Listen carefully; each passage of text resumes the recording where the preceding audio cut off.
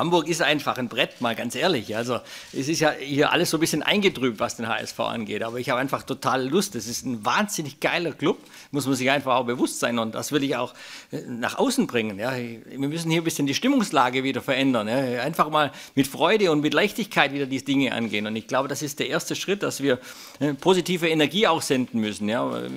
Lösungen suchen für das, was wir jetzt hier vorfinden. Und da habe ich einfach totale Lust drauf. Deswegen, ich habe schon gezuckt, aber es war ein angenehmes Zucken. Wir werden Stück für Stück versuchen, mit der Mannschaft kleine Schritte vorwärts zu kommen.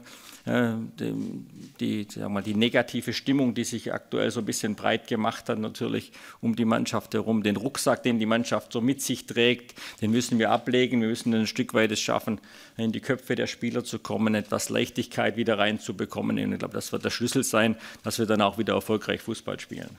Warum Markus? Äh, ich glaube, dass er ideal zu unserem Kader passt, zu unserer Mannschaft. Er ist gewohnt, auch mit jungen Spielern zu arbeiten.